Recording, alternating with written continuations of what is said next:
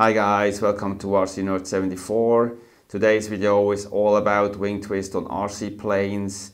Um, so we are talking about the main wing of the plane. The issue you can have is that your left and your right wing are not perfectly aligned on the same angle or the wing itself, one half of the wing or both are twisted uh, in the construction, so they are not perfectly built. This issue leads to uh, roll movement of your plane to the left or to the right. So I give you a short tutorial how you can fix this behavior because if you leave it like this, you have ailerons which are not trimmed to zero position, to center position, but they are off center.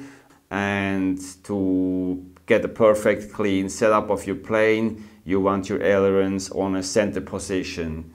This tutorial works for all the planes which are built like the Pilot RC laser you can see here. So you have two wings, the left one and the right one, and they are connected on both sides to the fuselage. So you can easily change the angle of the wing on the fuselage. If you have a plane which has a wing on top or on bottom and it's one piece, or uh, you just put it on top or onto the bottom of the fuselage, then it's uh, a little bit more difficult to adjust the things I do uh, on this tutorial.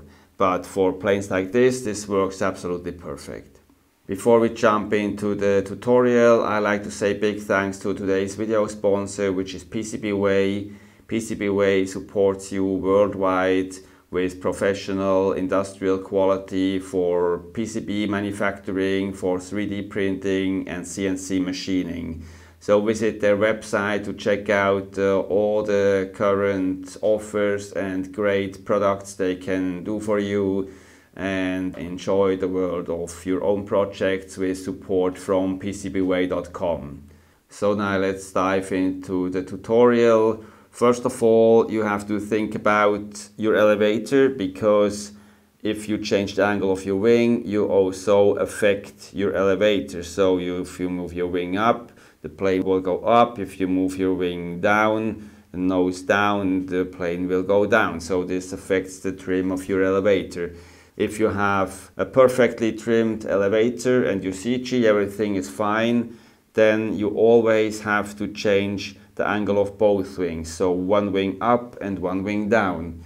Because if you only move one wing up or one wing down, you have to trim elevator and if your elevator is already perfectly set, you change your elevator and it won't be off center. The opposite is when your elevator is not perfectly centered and you have to do this correction so you can check what position your elevator is and it depends on the position of the elevator if you have to move your wing up or down. First of all, let's have a look only at the wing. Later then we go to the elevator too. Um, if your ailerons are trimmed on the right side down and on the left wing up to make your plane fly straight, you have to move your right wing down. So easily said, always move your trailing edge, so the rear end of the wing, in the direction where your aileron is offset. So if your aileron looks down, you have to move your wing down. If your aileron looks up, you have to move your wing up. So always the trailing edge. The trailing edge has to move in the direction where the aileron looks. How much you have to trim this is the try and error. So I would recommend to start with about one millimeter. You cannot be that wrong with one millimeter. It depends on the size of the plane and on the size of the ailerons. So there is no solution how much you have to change your wing position, your wing angle to make it fit perfect. So it's try and error. You have to do it perhaps two, three times until you have the perfect setup and no more wing twist or at least eliminated the effect of your wing twist. When we now have a look at the elevator too, so if your elevator is trimmed up to make your plane fly straight, you want your elevator have in a neutral position. So you trim your elevator down and you expect your plane to fly straight. But when you just trim your elevator down, the nose of your plane will go down. So to avoid this, you have to lift the leading edge of the wing up, the trailing edge down. So you just have to check on which side you can do this. In my opinion, it was exactly this. So the elevator was trimmed up.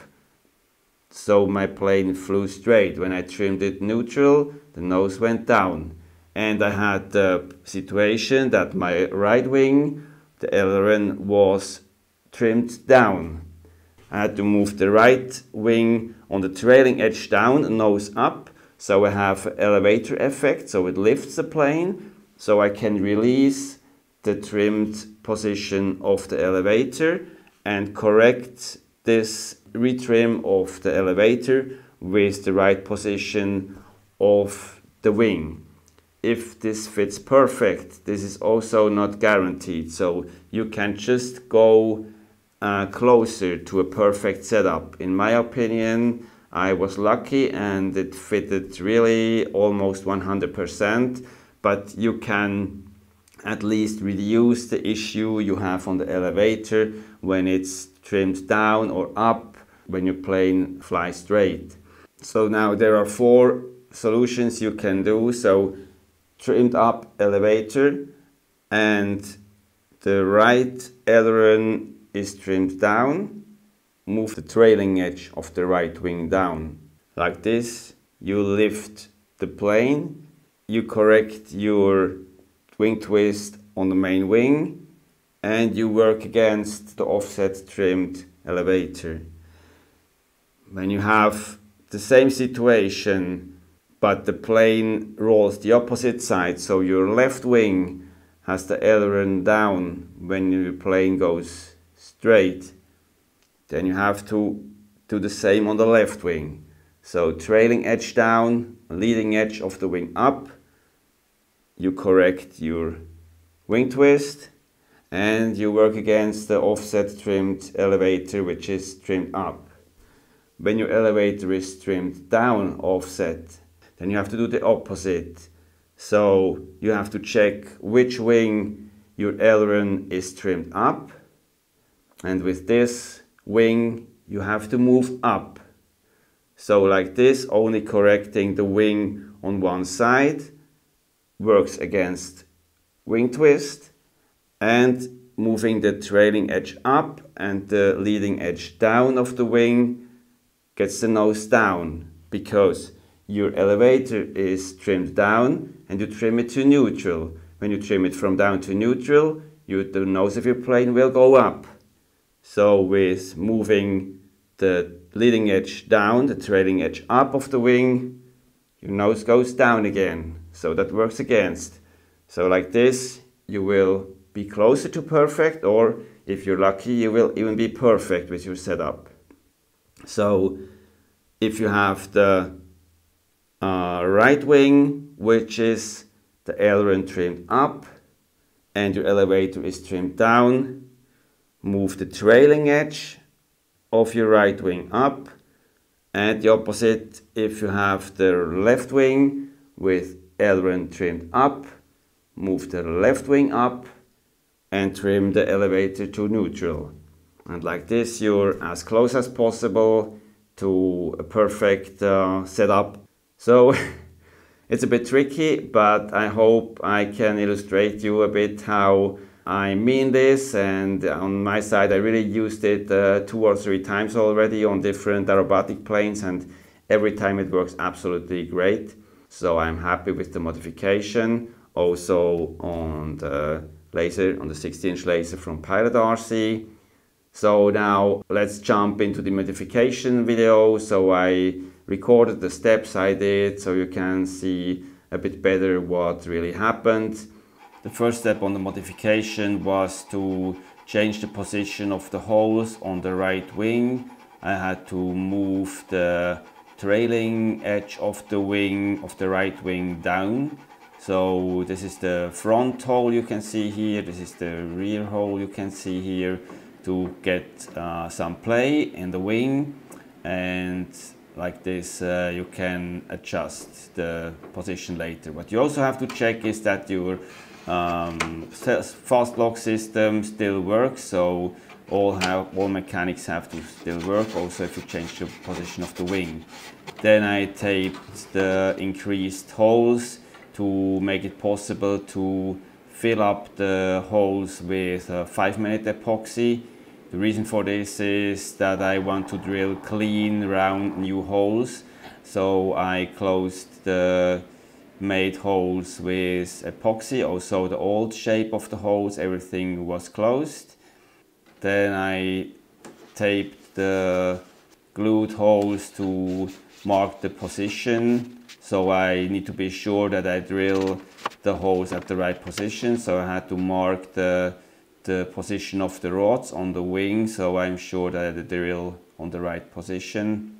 And make the markings with uh, netting then I drill the holes and this should more or less fit after the first drilling but you still have to check if it 100% fit. In my case, I had to drill 4 millimeter holes, but usually at the first uh, test it won't fit perfect. So as you can see, I wasn't able to put in the wing on the first try. So I had to change a little bit uh, the shape of the new holes, but wasn't a big deal just uh, some adjusting on sanding until the wing fits perfectly and smooth and also with no play in the fuselage. This is the final look of the holes so all clear and on the rear end I had to change the position of the hole about 2 millimeters which is